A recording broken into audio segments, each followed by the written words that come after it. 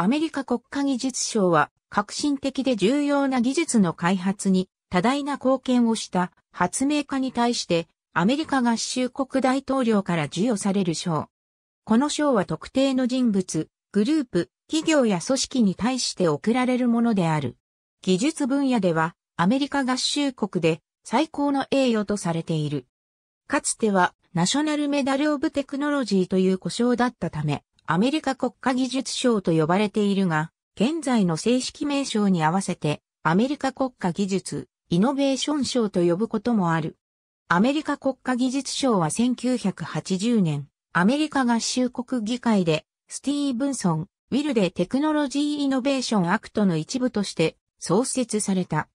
最初の賞は1985年、当時の大統領ロナルド・レーガンから14の個人や企業に授与された。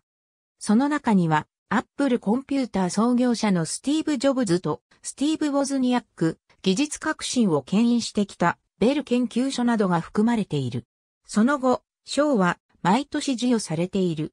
2007年8月9日、関連する法律が改正され、名称も National Medal of Technology Innovation に変更された。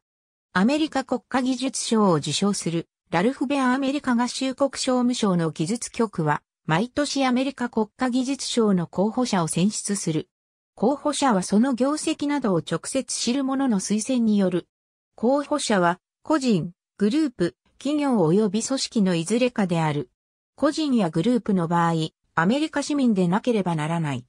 企業や組織の場合、その50%以上がアメリカ市民の所有になっていなければならない。全候補者はアメリカ国家技術賞選出委員会で審査され、アメリカ合衆国商務長官に勧告を発行する。また、最終候補者に対しては FBI がセキュリティチェックを行い、その結果が最終選考で考慮されることがある。商務長官は大統領に受賞対象者を推薦する。その後、新たな受賞者が大統領の名前で発表される。